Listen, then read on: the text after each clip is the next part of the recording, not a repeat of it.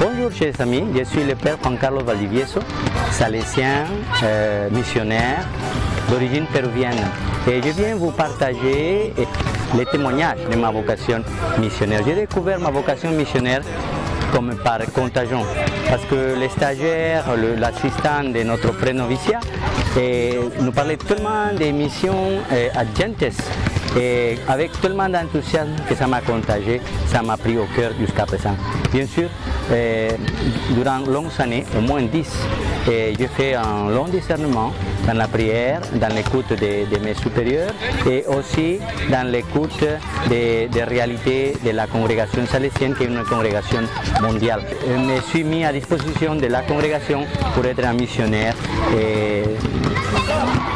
Là où les supérieurs voulaient m'envoyer là où il y aurait plus de besoins.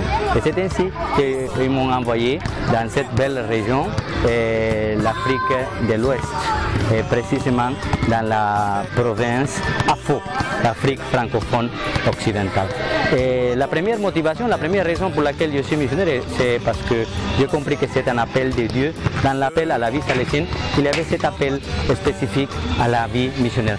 Et en plus, je dois reconnaître que mon pays, le Pérou, a aussi besoin jusqu'à présent de missionnaires. Il y en a beaucoup qui partent là-bas en mission parce qu'il y a des vastes zones pour évangéliser, pour éduquer, qui ont besoin de la présence des missionnaires. Mais une chose, une idée forte qui nous a encouragés à, aller au-delà, c'est le fait de partager euh, à partir de notre pauvreté. Nous sommes pauvres, nous avons besoin, mais il y en a d'autres aussi pauvres que nous et qui ont besoin comme nous. Et c'est bien de partager puisque nous avons beaucoup reçu.